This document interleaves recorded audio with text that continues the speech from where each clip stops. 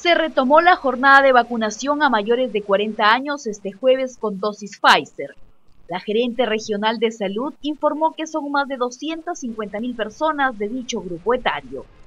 Se evidenció regular concurrencia en el Colegio San Juan y orden en la fila. Digo, nosotros habíamos avanzado muy bien con 33 mil primeras dosis en la vacunatón, que habíamos sumado aproximadamente 120 mil personas del grupo etario de 40 a 49, pero recordando que este grupo es tan amplio, tiene 256 mil personas a vacunar y para poder bajar del grupo de edad nosotros tenemos que pasar los 210 mil por lo menos.